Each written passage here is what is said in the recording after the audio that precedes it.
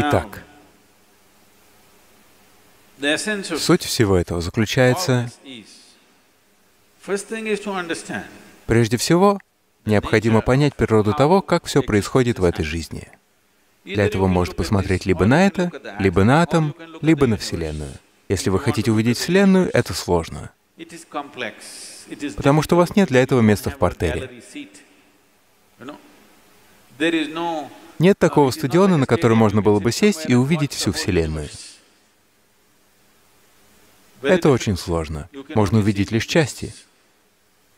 Если вы хотите увидеть атом, Никто еще не видел атома. Вы знали об этом? Знали? Даже в самый мощный микроскоп нельзя увидеть атом. Мы можем наблюдать его активность, но сам атом мы никогда не видели. Но нам удалось его расщепить. Мы можем сломать что угодно, даже если мы не видели этого. Сегодня мы этим очень гордимся. Мы можем сломать что угодно. Можем ли мы создать это или нет, другой вопрос. Но сломать мы можем что угодно. Даже если мы не можем что-то увидеть, мы можем это сломать. Но само то, что вы видите и чего вы не видите, все это очень спорно. Что вообще вы можете увидеть? Сейчас вы видите мою руку?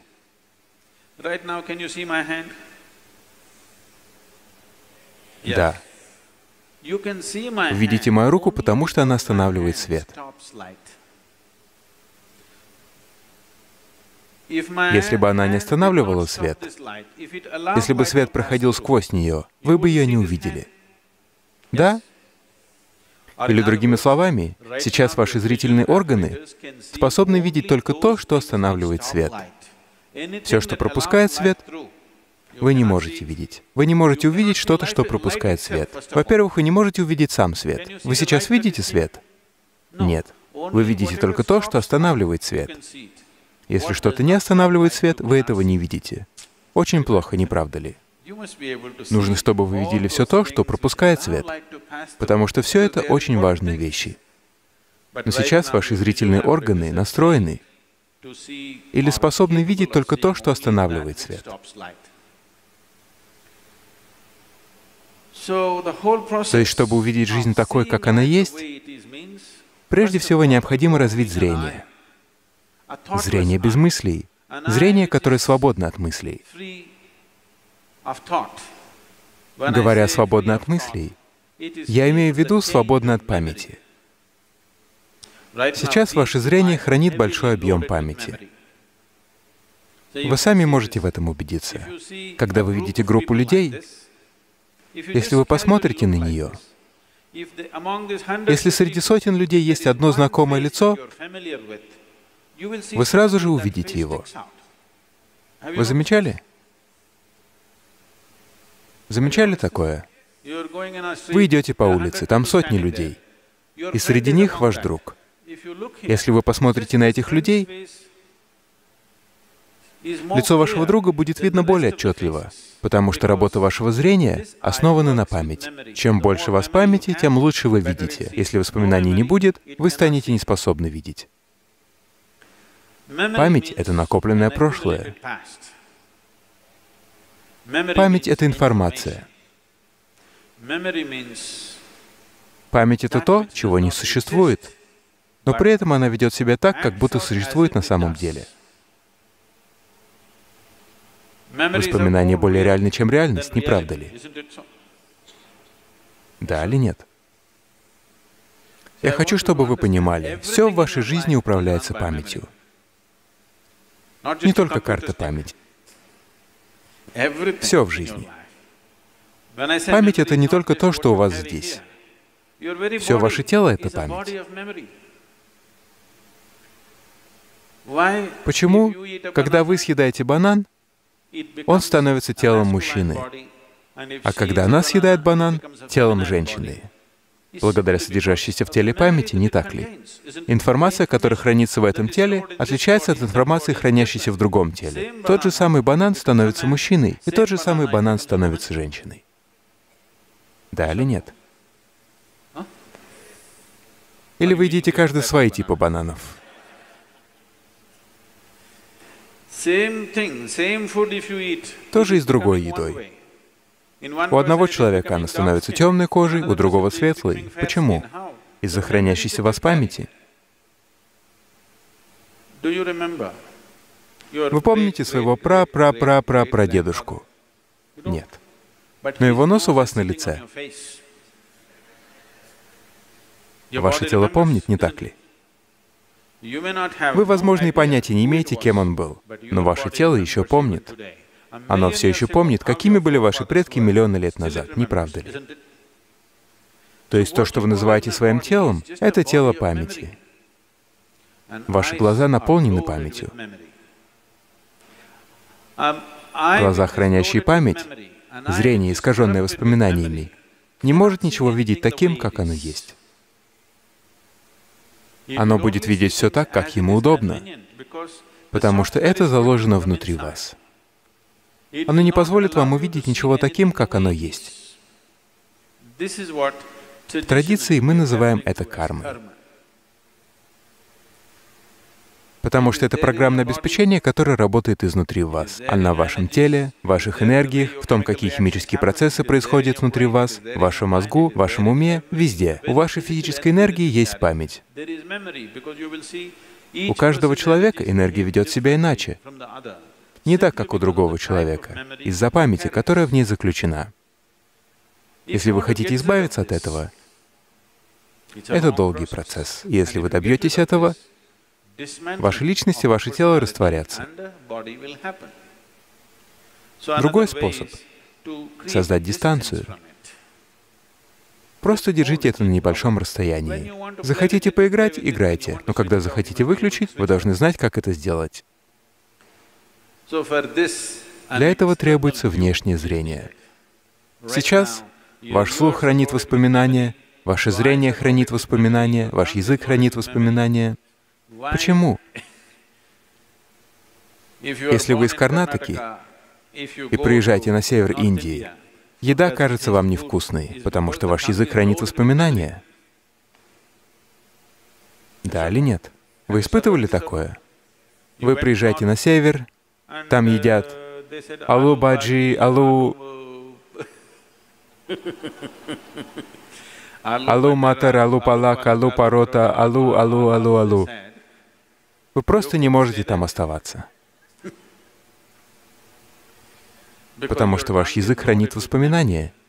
Ему нужны привычные вещи, иначе он будет страдать. Хранение воспоминаний означает, что вас опутывает кокон прошлого, и он не позволяет вам двигаться в настоящее. Кокон прошлого опутывает вас, и вы позволяете ему это делать, потому что в этом коконе вы ощущаете себя в безопасности. Вы в безопасности. Но эта безопасность также означает лишение свободы. Если закрыть вас в сейф, вы будете в безопасности, не так ли? Но проблема в том, что вы не сможете оттуда выбраться. В этом-то и вся проблема. Стены, которые вы строите для самозащиты, становятся стенами вашей тюрьмы. Такова природа жизни.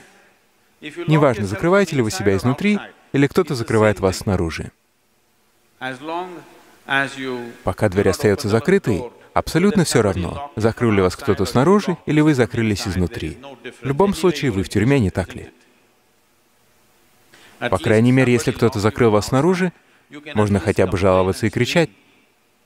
Если вы сами закрыли себя изнутри, вы можете только расстраиваться. Кричать нет смысла. На кого вам кричать?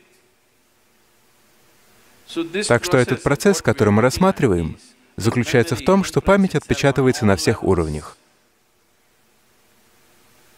вплоть до уровня элементов. Действие памяти начинается сразу после уровня пяти элементов.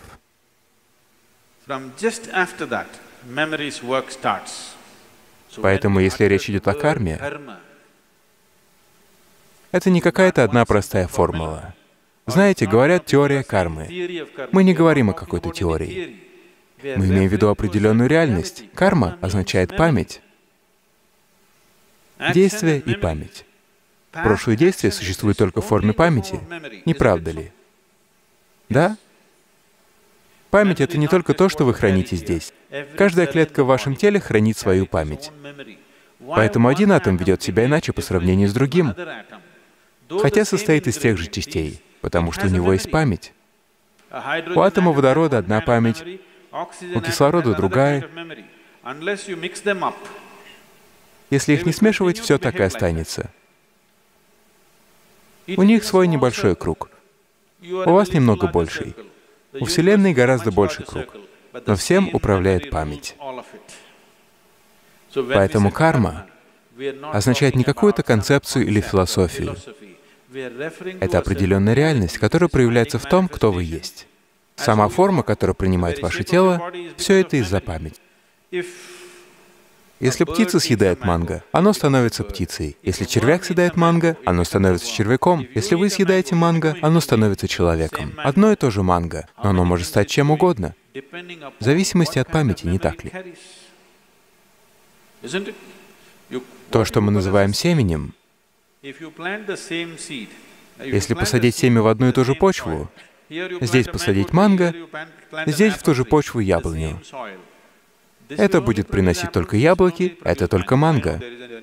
В газетах была такая фотография, где на хлебном дереве растут бананы. Это другое. Вы видели эту фотографию? Вы все из Бангалора или из Диванахали?